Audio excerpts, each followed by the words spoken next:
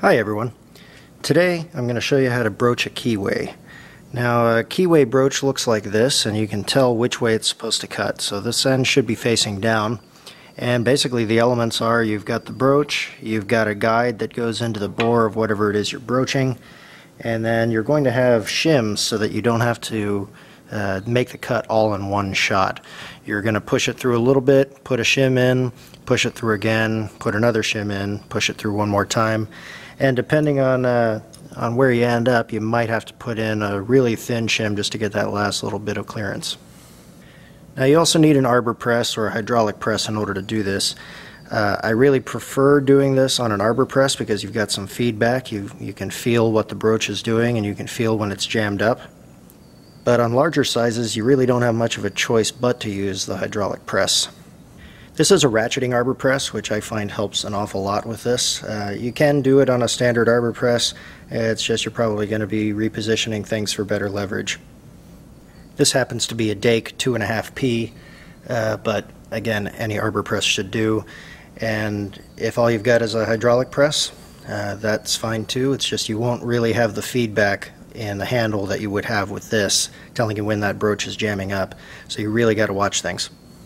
In this case I'm doing a quarter inch key in this and this is just a piece of scrap that I bored out for demonstration purposes. So it won't take too much pressure and my arbor press should be more than capable of doing it.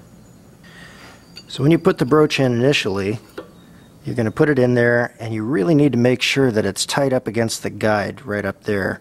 Especially at the very beginning it'll want to kind of lean forward a little bit and if it does that it has a tendency to jam up and you could actually break this broach. Now these come in different sizes. This is a size C, which is less likely to break, uh, but of course the smaller sizes like the A and the B, uh, you could snap those pretty easily with just a couple of tons of pressure. The other thing you want to do is use a ton of oil.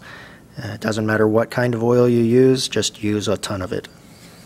I just sprayed that all up and down every tooth, and now I'm going to bring it down and push it through.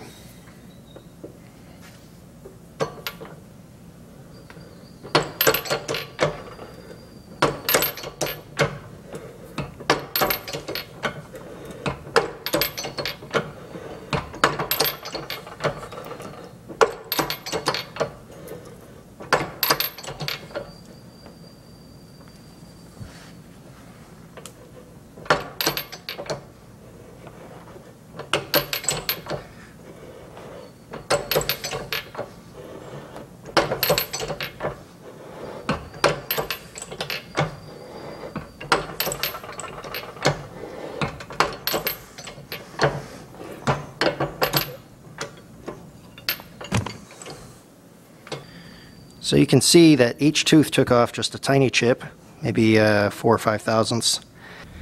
The larger size broaches have these little cuts in the teeth that help to stagger the chip. Uh, it kind of acts like a chip breaker um, so that each tooth isn't removing as much material and the one behind it will go ahead and clear out what the other one didn't get. You can also see I've got uh, maybe a third of my keyway done so let me go ahead and reset the arbor press and I'll put a shim in and we'll do it again. The sets come with these shims and they're little L-shaped things. They hook up on top there and they're labeled for the keyway size. So theoretically after two shims you should have a completed quarter inch keyway. Before each pass I'm going to go ahead and wipe down the broach, make sure there's no chips on the backside. And I generally uh, make sure that I get all the chips off of the teeth as well so they don't jam up in the cut.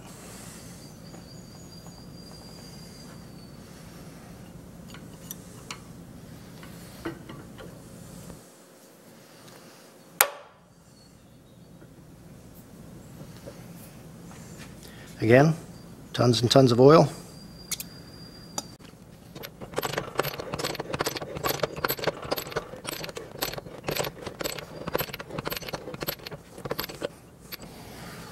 So right now, I've got a uh, pretty healthy keyway there. I'm going to take it out and measure it. I did another video where I talked about using digital calipers as calculators, and this is another application of that. Um, this is a quarter inch key, so it should be an eighth of an inch deep. And if I go ahead and measure my bore here and zero my digital calipers, so now it's zeroed on the bore, I can then go ahead and directly measure the depth of the keyway, which I'm just about there, 124. Generally, you want a little bit of extra because you want to make sure that that key is going to clear. So I'm going to put in a really thin shim and push it through one more time.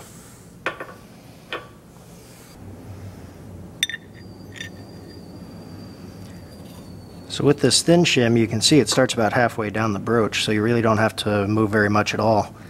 And you still want to use a lot of oil though.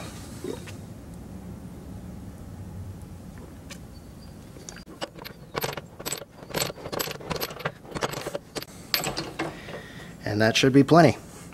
I'm going to go ahead and make a separate video showing how to find the center of that keyway so that you can drill a set screw hole. I hope you found this video helpful. If you did, please hit the like and the subscribe button down below. And please check out my other videos on machining. Thanks for watching, and I'll see you next time.